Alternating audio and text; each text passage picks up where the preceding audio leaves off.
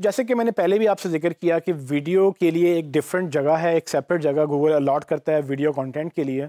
सो so, अगर आप इसको अंडरस्टैंड करें तो कितनी बड़ी ये अपॉर्चुनिटी है कि अगर मैं एक मेन एस e के जो टॉप टेन रैंकिंग्स हैं उसमें रैंक नहीं कर पा रहा हूँ या आप नहीं रैंक कर पा रहे हैं या कंपटीशन बहुत ज़्यादा है कीवर्ड शायद महीनों ले जाए उस पर रैंक करने के लिए आप अच्छी वीडियो बना के वीडियो रैंक करवा सकते हैं। सो so, ये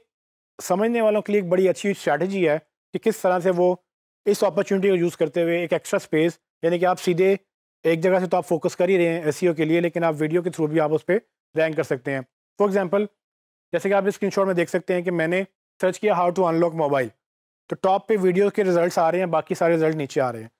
अब आपको याद होगा कि हमने इस पूरे कोर्स में कुछ केस स्टडीज़ ली थी, जिसमें एक मोबाइल स्टोर की मैंने आपको केस स्टडी बताई थी कि अगर मेरा एबीसी मोबाइल स्टोर के नाम से या जो भी मोबाइल स्टोर है उसमें मैं अगर मोबाइल बेच रहा हूँ तो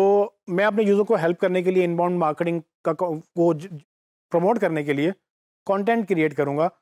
और वो कंटेंट वीडियो अगर हो, अगर top mobile of the week top mobile of the month या cheap mobile of the weeks इस तरह से हम कंटेंट क्रिएट करें। तो वहाँ पर आपको क्या लगता है कि अगर आपका यूज़र मोबाइल ख़रीदने वाला है तो उसके प्रॉब्लम भी तो आते होंगे। जब उसका मोबाइल लॉक हो जाए, वो कहाँ जाएगा? वो जाके गूगल में सर्च करेगा कि मोबाइल अनलॉक कैसे करना है? या इस तरह के बेशुमार इश्यूज़ हैं जो लोग खुद करना चाहते हैं, खुद सॉल्व करना चाहते हैं। सो उस सूरत में आपकी वेबसाइट अगर टॉप पे रैंक नहीं कर रही, आप वीडियो लॉन्च कर सकते हैं। उस टॉपिक पे एक वीडियो बना सकते हैं, जिससे आपको एक सेपरेट जगह मिल जाएगी। जब आप ये काम करेंगे तो उससे ये होगा कि आपकी एस e जो मेन चैनल है एस e का कि आप लोग क्लिक करें, आपकी वेबसाइट पे आएँ, वो तो शायद आपको टाइम लग रहा हो, लेकिन ये एक अल्टरनेट स्ट्रेटजी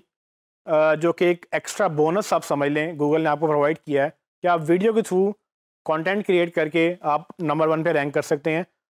चाहे अगर आपको दूसरी जगह पे टाइम लग रहा है। लेकिन अगर आप दूसरी जगह पे नंबर वन हैं भी तो क्यों ना फिर भी आप उस पर यूट्यूब पे आ जाएँ? तो क्या हर्ज है कि आपकी दो नंबर वन पोजिशन हों, कि आपकी वीडियो भी नंबर वन रैंक कर रही है, आपकी जो है वो वेबसाइट भी नंबर वन रैंक कर रही है, इस तरह से आप दो पोजीशन ले लेंगे, क्योंकि अगर आज आज वीडियो नहीं डालेंगे, कोई कंपैटर यही बात सुन के जो मैं आपको बता रहा हूँ, वो मेरा ये बात कोई कंपैटर अगर समझ जाए तो वो आपको बीट करने के लिए एक वीडियो आपसे ऊपर रैंक करवा सकता है, फिर वो नंबर वन हो जाएगा और आप नंबर टू हो जाएँगे। क्योंकि वो वीडियो में नंबर वन आ जाएगा।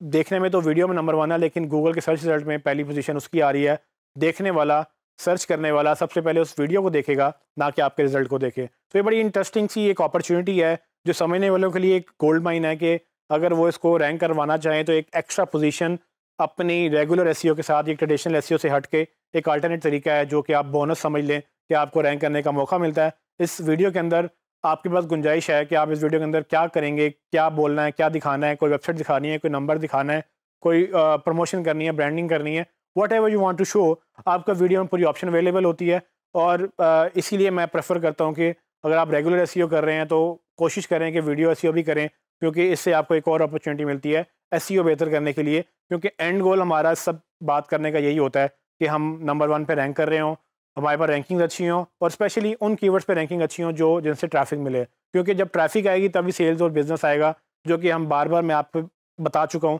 कि जिस बंदे ने भी आपको हायर करना है, या आपने अपना बिज़नेस भी अगर रन करना है एस e का अल्टीमेट मकसद बिज़नेस ग्रो करना ही है और बाकी मार्केटिंग जो बाकी सोशल मीडिया या दूसरी चीज़ें हैं उस सब का अल्टीमेट गोल जो है वो बिज़नेस ग्रो करना है। जब तक आपकी चीज़ें लिंक नहीं होंगी, एक मेन फोकस नहीं होगा कि मैंने कैसे ट्रैफ़िक इंक्रीज़ करनी है ट्रैफ़िक इंक्रीज़ करके कैसे मैंने बिज़नेस ग्रो करना है, तब तक ये चीज़ें समझ नहीं आएँगी। आप पानी में हाथ पाँव मार रहे होंगे, जो मर्ज़ी कर लें, सब कुछ वैसे का वैसे ही रहेगा, कभी कुछ चेंज नहीं होगा। तो इस चीज़ को समझें और कोशिश करें कि वीडियो एस को अपनी एस स्ट्रेटजी में इंक्लूड करवाएँ।